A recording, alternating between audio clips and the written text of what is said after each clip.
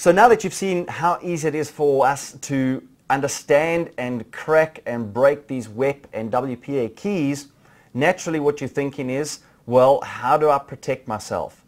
Well, number one, the attacks that you saw against uh, a, a WEP encrypted access point and client is one that was using a very old form of encryption, as I said earlier on. Now, that actual encryption standard is very subjected to what we call your replay attacks, whereby you can replay traffic against a WEP configured access point and you won't actually have the other clients drop off from connecting to that access point, but the access point allows replay traffic to actually be received or sent by the potential malicious person out there. So a good upgrade would be to move up to the minimum WPA and uh, we'll be talking more about WPA in a few moments. But WPA was the very first implementation which was an enhancement of uh, WEP and that enabled us to actually restrict these replay types of attacks and also allowed us to use a much larger key length which enabled us to use more unique encryption keys. So basically every time one packet goes out onto the wireless network it uses a slightly modified encryption key so that obviously every packet that goes out is using a slightly different form of encryption. So it's not always that easy to break. So the countermeasures to all of this, folks, in the corporations typically found uh, because of the expensive form of uh, software and hardware that's required would be to use an EAP, your Extensible Authentication Protocol, with TLS, your Transport Layer Security. That's a typical EAP TLS deployment. What does it mean if we decipher some of the acronyms? Simply means that on your client, your mobile, your laptop, you've got to have a certificate installed. It's a digital certificate like a passport. And that's going to be used to identify yourself to the actual access point. Now the access point will be passing that information through to a back-end service such as a Radius service. Now, Radius stands for your Remote Authentication Dialing User Service. I'm going to have about a three-minute break now because that was a very long word. So the countermeasures to this would be to use both client-side as well as back-end side authentication.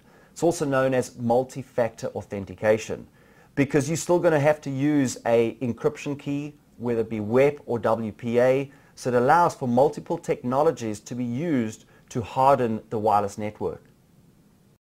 So if any of you are a wireless uh, engineer or a RF engineer, you're going to know that a lot of the wireless equipment doesn't come very cheap. This is a great little uh, hardware device that comes with great software called your Wi-Spy Spectrum Analyzer. It's a small little USB device that allows you to analyze the different types of frequency and RF signals uh, in and around you. Again, I'm going to go through a demonstration of this, so don't stress too much about exactly how this works. But uh, you will also see a website where you can purchase this. And uh, it was at around about $100, but then they started adding some more hardware components and developing the software further. So now it's anywhere between two and $400 depending on what optional extras you purchase or what add-ons you want. Now this is one of my favorite toys, the Yellow Jacket. Now the yellow jacket is simply a highly customized PDA.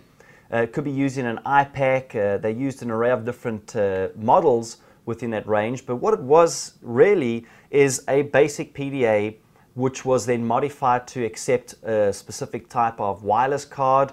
It had its own type of housing. So with that type of device, not only are you able to go and do a war drive as an example, but one of the benefits of using this type of device is that you can actually use a directional finding antenna, which will actually tell you where the signal's coming from without having to have, you know, these three or four different suitcases full of other types of equipment. They do cost anywhere from about $3,000 all the way up to over five, $10,000, so they don't come cheap. So sadly, as we come into the end of this presentation, naturally I want to leave you with some confidence to know that A, your corporate networks, or B, your home wireless network actually has chances of surviving in this new age that we actually live in, in this high-end, high-tech uh, industry. So you do actually get specific types of intrusion detection devices, that are specifically designed and developed for wireless networking.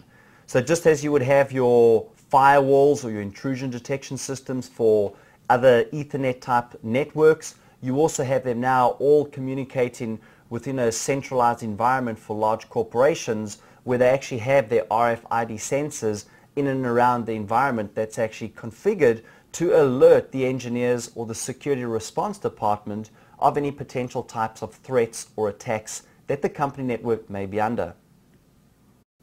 Now you can go out and uh, look at the Planet 3 website.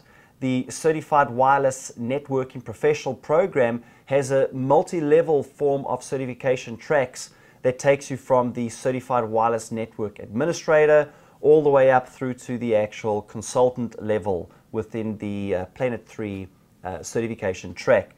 Uh, do take note that we also have our own very specific penetration testing for wireless networking uh, programs out there that we deliver it throughout the world and uh, that really covers more of a, a, slant on the security side of wireless networking rather than just the fundamentals of wireless networking.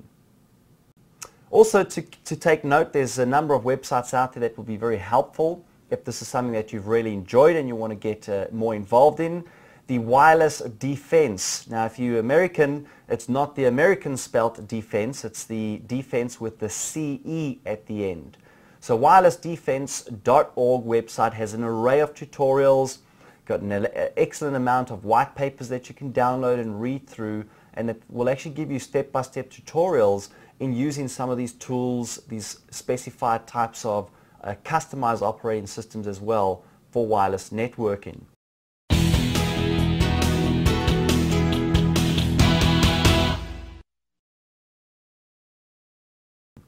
Do remember to go to the secureia.com website for more updated news, information on some of our training programs. But I just want to say to you all, I've, it's been a great uh, time for me to present this to you. This is one of those uh, uh, technologies that we know is going to continue to grow because people need to remember that laying an Ethernet cable and having one port in the wall typically costs about 150 to $200 per that one socket in the wall. Whereas if, if you think about wireless networking, you don't have to worry about laying all of those long cables uh, as well as the actual costs involved with Ethernet. Wireless becomes a lot cheaper. So thanks folks and uh, take note of uh, our email address should you want more information. It's info at secureia.com. Thanks for watching. You have a great time.